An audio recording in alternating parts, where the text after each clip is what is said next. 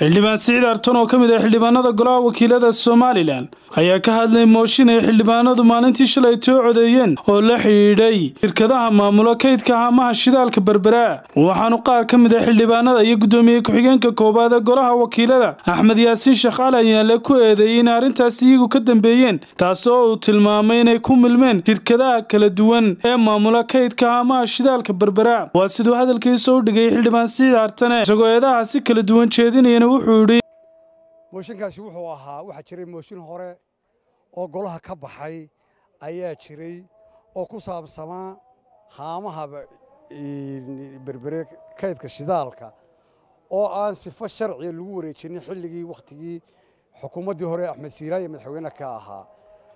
Taasoo aan sifo sharciga habka wareejinta loo wareejiyey aanay sharciga waafaqsanayn oo marka la doonayo in hantida intaa leeg wareejiyo waxa in ummadda in loo bandhigaa.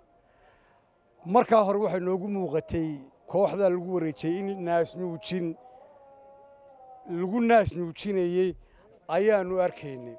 Haamuno waa hanti qaran.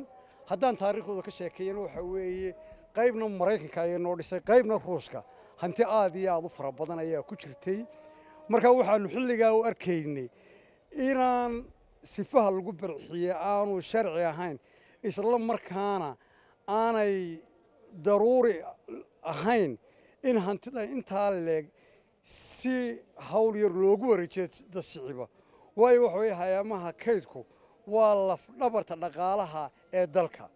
Midda kale waxa weeye dee amniga ayay qayb weyn ka qaataan. Haamuhu waxa weye shidaalka kuugu jira haddaanu kontarooli lahayn maanta haddii dalku uu xaalad dagaal galo oo shidaal biyo ka buuxaan lagaaga soo buuxiyo sida imaka dhacday ama shidaal wasakhaysan dee gaadidkooga dhimuu fadhiisanaya. Annagoo xag amni iyo xag dhaqaaleba ka eegayna ayaa waagaa hore markii la bixiyey aanu mooshin ka geynay. Dabeedna goluhu wuxuu isku raacay inaan haamaha kaydka shidaalka la wareejin karin ayuu goluhu codeeyey. Sidaa markay ahayd cod aqlabiyada ayaa loogu codeeyey sidaasaa xukuumaddii axmed siiraanye aanu ugu gudbinay markii loo gudbiyey xukuumaddu ayadoo dana gaara ka lahayd ama naasnuujin sidaan horu sheegay dad gaara ku naasnuujinaysa waxaa ganafka ku dhufasay goloweynaha go'aankii ka soo baxo dabeedna ayada ayaa haamihii siday doonintay u maamulatay uuna kuna wareejisay si kheyra sharciga ugu wareejisay shirkadaha la leeyay way maamulaan meesha waxaa dhacday markaa imaka mooshinkan cusub waxa keenay dhibaatooyinkii waagaa hore aanu arkaynay ayaa dhacay.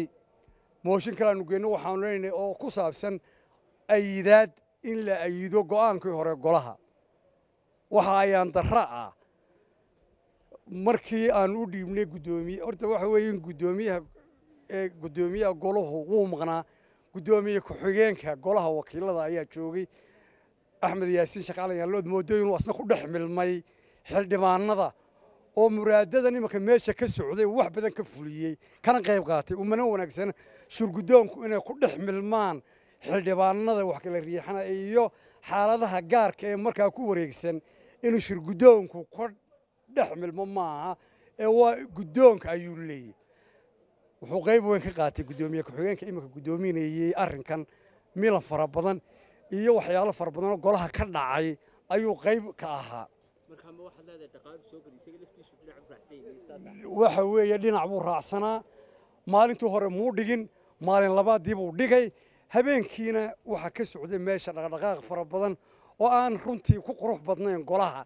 Dhexdiisa waxyaalaha noocaasi oo xildhibaano horena uga hadleen oo iminka ganaax kaga maqan yihiin golaha aanu ku ganaaxnay wixii uu xildhibaanka hore xaamid ka hadlayay waxyaalo la mida ayaa habeen ka dhaweytana ilaa habeen horena ka dhacay golaha mana qurux badna.